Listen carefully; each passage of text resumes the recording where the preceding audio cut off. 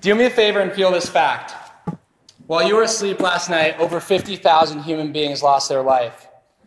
That's 50,000 families, communities, and tribes. In eight hours, that's hundreds of thousands of human beings that'll have to comprehend a new reality. Four and a half years ago was the first day of my senior year of college right here at Montana State University.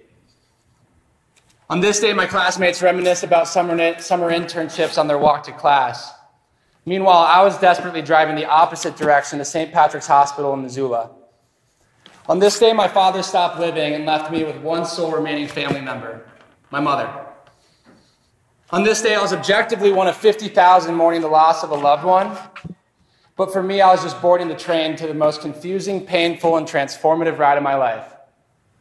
Let's start at the beginning. Hello, everyone. My name is Robell. My name is the combination of my father's name, Robert, and my mother's name, Bella. My father, Robert, was an Army vet, retired rancher, and a trained fanatic. My mother, on the other hand, is a Filipino immigrant who was a domestic helper in Singapore, is roughly four foot eight with heels, and has more energy than a nuclear power plant. My parents met as pen pals. For those who are unfamiliar with that term, that's what happened before we were swiping right on Tinder. At the time, I, uh, at the time, my dad was recently retired. He was 60 and was just looking to relax. But things quickly changed when my mom expressed an unwavering need to have one child. That's where I fit this picture. As an only child, I was the byproduct of a tremendous amount of time and energy. I swear my mom would pick me up after she got home from work and not put me down until she fell, fell asleep.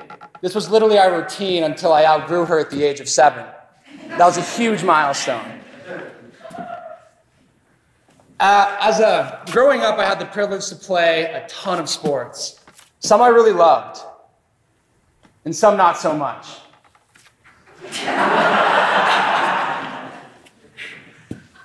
As a young person, my yardstick for meaning was doing well in these sports and filling out the report card. The only problem with, with this is that I was too busy thinking about other people. And over time, this anchored me into a trajectory of thinking what other people think. I was so preoccupied with that that I didn't have time to think for myself.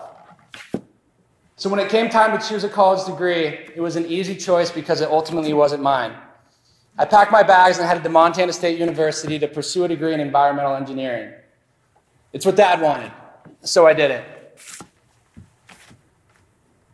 Because this degree came from no passion of my own, my studies fell to the background and the social scene kind of sneaked its way to the main priority. The main objective was finding the next six ski run or the next party. Gosh, it was so much fun. Um, but the thing about that lifestyle is it did not give me the opportunity to step back and readjust the way I was living my life. The wind was blowing me towards a degree I did not love, drifting off of a lack of introspection and the will to impress my father. The only problem with this equation is it's pretty hard to impress somebody who's not there. My dad was 60 years old when I was born. His mortality was no secret. But what remained a secret was my inner purpose, who I wanted to be, and what I believed in. Today, I'd like to share with you three things that I learned in the wake of my father's death. The first is self discovery. Self discovery is this absurd part about the human experience that I've always been baffled by. Everything that we've known to be true is shaped by things around us. Parents, coaches, teachers come together. They teach us how to walk, talk, and think. It's such a beautiful thing. Then all of a sudden, without a moment's notice, we're asked the big question What do you want to do with the rest of your life? Have you guys heard that? Um, yeah, so everything that we've known to be true is shaped by others around us, and now we're asked this? What kind of relationship is this? So, what do you do when you're 21 and you're faced with this question and you just recently lost your father? Well, you cry. you cry a lot. And you should probably go see a therapist. But if you're a guy like me that's been to put, told to put on armor and tough it up, it's not happening anytime soon. So I ran. And I ran a lot. Running was much more than an exercise, it was the birthplace of self discovery. Through movement innate within our species, I escaped from the noise of the outside world, and I finally created hours where I could think about who I was and who I wanted to be. For the first time, there was no parent, teacher, or coach telling me direction. for the first time I finally felt in charge.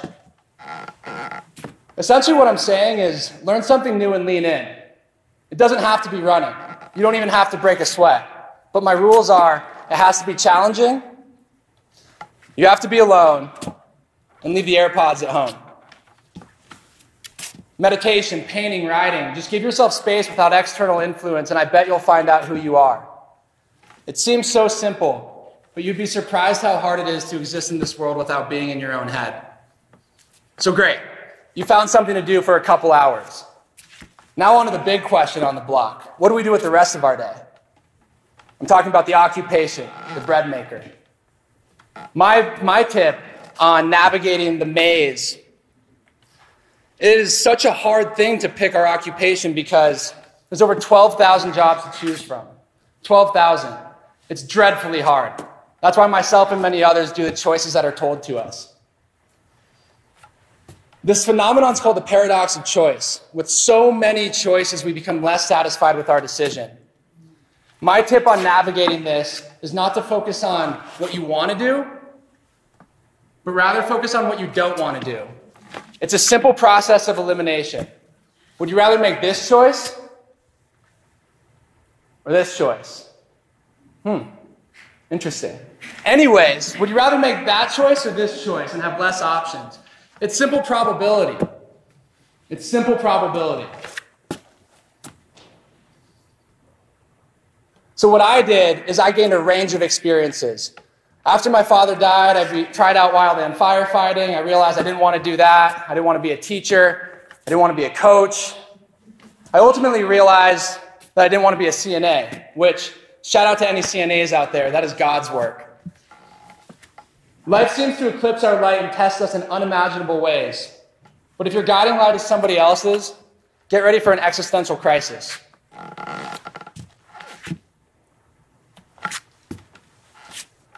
So now, great. You found out some, something that you want to do. Now, on to the hard part transformation, change. That's the second thing that I want to talk about. Would you rather grow and change in a time of, on your own terms, in a time of joy and inspiration? Or would you rather change be, be forced to change amidst pain and suffering. As soon as I lost the comfort of the immediate phone call to dad, I quickly lost engineering. I didn't change because I wanted to. I changed because I absolutely had to. We all, we all have the capacity to change, but it's never the first choice. We are creatures of habit that have a predilection towards comfort, convenience, and ease. And never has it been so hard to choose what we, never has it been so hard to exercise control. We, we not only have to rebel against ourselves, but we have to rebel against the world around us. We're surrounded by so many things around every corner, two clicks on Amazon. I believe that our responsibility is to exercise control in a world where there will never be enough. I'd like to articulate this with a healthcare scenario that's presenting in every hospital across the country. The story goes like this Every day, 49,000 people die from cardiovascular disease. It's a preventative disease and an insidious one, too.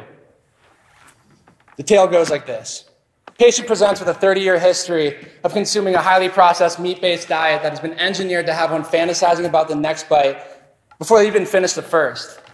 And it all gets washed down with an IPA and a couple Oreos. Over time, they convince themselves that it'll all be fine using self justified mantras like, it'll never be me, or, but I'm different. Then all of a sudden, on a typical Tuesday morning, they start to notice gradually worsening substernal angina radiating to the jaw and arm. It's also known as chest pain. Within a blink of an eye, they present to the ER surrounded by a cacophony of beeps and a plethora of cords.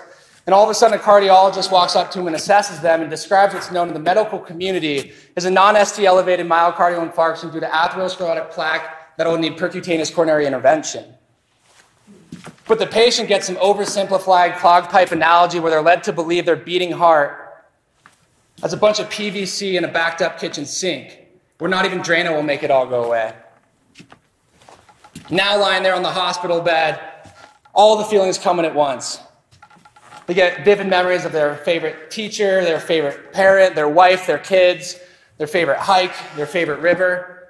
Now, with enough pain and an act of desperation, they'll, any, they'll do anything to go back to how it used to be. Meanwhile, the seemingly insignificant diet that whispered for three decades is mounted for change that is most often irreversible. I don't mean to pick on food here.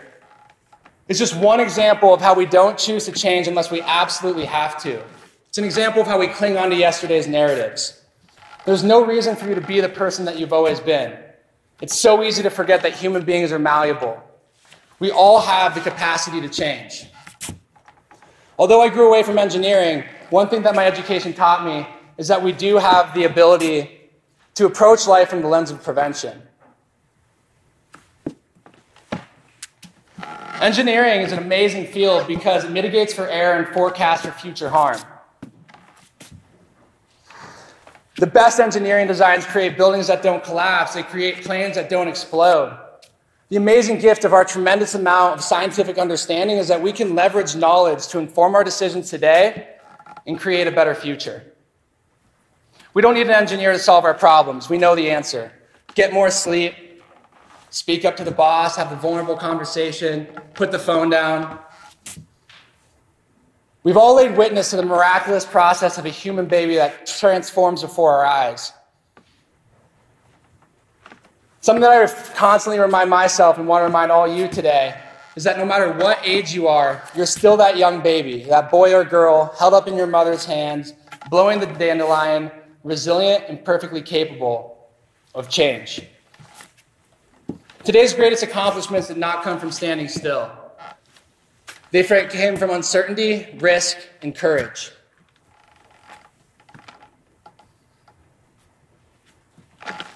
The last thing that I'd like to talk about is showing up for the ones we love. For this, let's revisit the last day of my senior year of college, or the last day of the first day of my senior year of college. On this day, when I showed up, finally showed up to St. Patrick's Hospital, I could hear my mom's harrowing cries echoing through the hospital. I ran, and, I ran to her and embraced her. Now I was holding her up. Together, looking down at the hospital bed, the man who raised me, who cooked me breakfast, who taught me piano. Stiff as a rock and unresponsive. One of the hardest things that I've had to come to terms with is what happened in the moment in that hospital. For three hours after my dad passed away, not a nurse, not a CNA, not a doctor came in to check on us. Not a how are you, not a pat on the back. The pain and the pain that I felt in those three hours were unlike anything I've ever experienced in my life. Stranded in that hospital, I felt stranded in my own mind.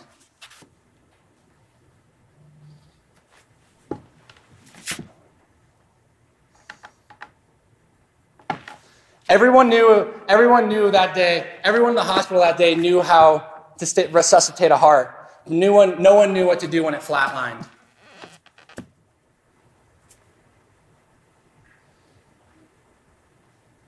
Western medicine is so good at prolonging life and stabilizing morbidity. But when it comes to mortality, it's at best an afterthought.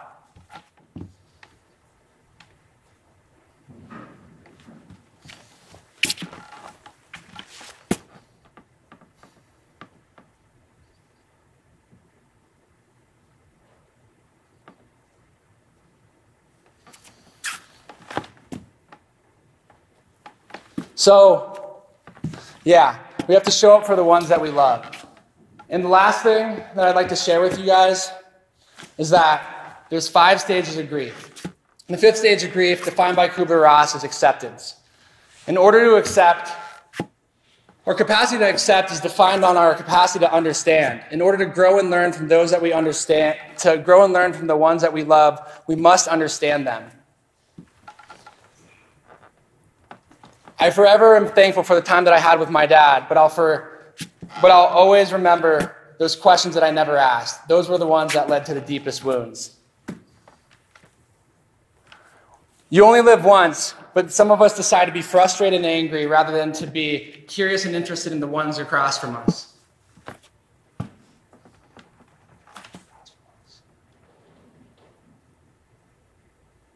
It's so easy to take that time for granted. It's so easy to get convinced by the worries of time in school that there will be enough time. What I'm telling you from when I lost my father is those feelings and those emotions and those beautiful conversations, those are the most important things. There will never be enough time, but we can certainly minimize for the pain, the confusion, and regret.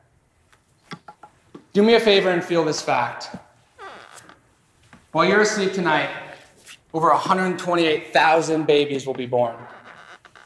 In eight hours, it's 128,000 human beings that will be shaped by the world around them and be asked to figure out the world inside of them. The day my father stopped living was the day I decided to start. Our inner purpose is a metamorphosis. It constantly changes and adapts to our circumstance. But right here, right now, I feel closer to who I want to be more than I ever have. Through witnessing death, four and a half years of self reflection, trial and error, and a lot of running, I found myself to my new challenge medical school. As an aspiring physician, I am dedicated to empowering my patients and helping them catalyze change. I'm dedicated to approaching chronic, attacking chronic disease from the lens of event prevention. And most importantly, I'm dedicated to showing up and never letting my patients heal alone. There's one thing I leave you with all today, it's don't forget that you're alive. Don't forget that you're alive and why. Thank you.